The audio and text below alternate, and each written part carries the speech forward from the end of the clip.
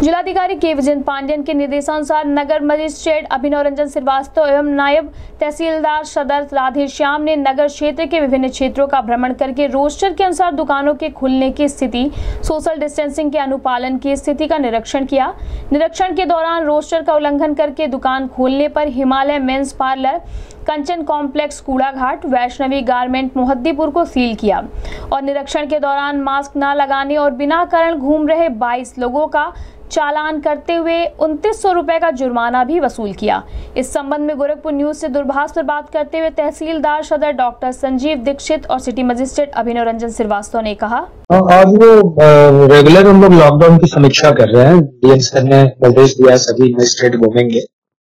और रोस्टर के विरुद्ध दुकानें जो खुली हैं या किसी तरह से भी ज़्यादा सोशल डिस्टेंसिंग का पालन नहीं करा रही हैं, उन दुकानों को फिर कार्रवाई के नए सीलिंग की कार्रवाई की गई है। तो इसमें आज हम लोग दो, एक जिसमें वैष्णवी गवर्नमेंट गिरधरगंज का है और हिमालय मेन्स पार्लर उनका रोस्टर जबकि आज का नहीं था, ये मोदीपुर में कंचन टावर के अंतर्गत तो इन दोनों कानों को सील किया गया कोरोना का कहर लगातार बढ़ रहा है डेली केसेस की संख्या बढ़ रही है और बहुत विभत्स रूप ये लेगा अगर हम लोग चैतन्य नहीं रहेंगे।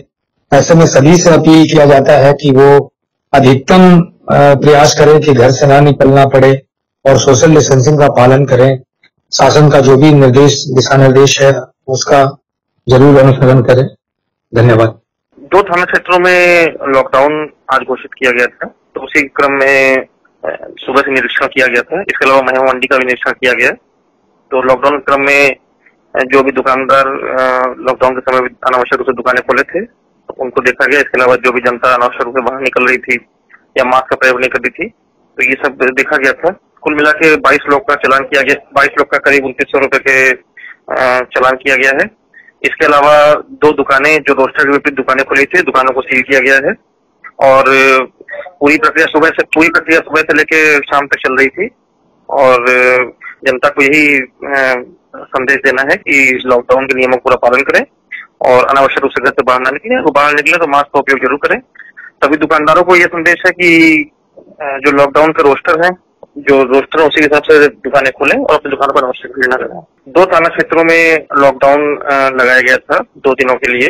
तो उसी के क्रम में जो दुकान है आवश्यक सेवाओं के लिए दुकानें खुलेंगी मेडिकल शॉप से खुलेंगे। इसके अलावा जो ग्रोसरी की दुकानें हैं, वो अपने यहाँ से होम डिलीवरी करेंगी।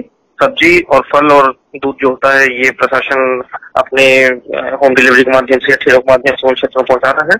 किसी भी दुकानदार को अनावश्यक रूप से लॉकडाउन एरिया में दुकान नहीं खोलनी है। और जो भी एरिया लॉकडाउन के अतिरिक्त है, जो भी थाना क्षेत्र है, उसमें रोस्टर के साथ दुकानें खोलनी है।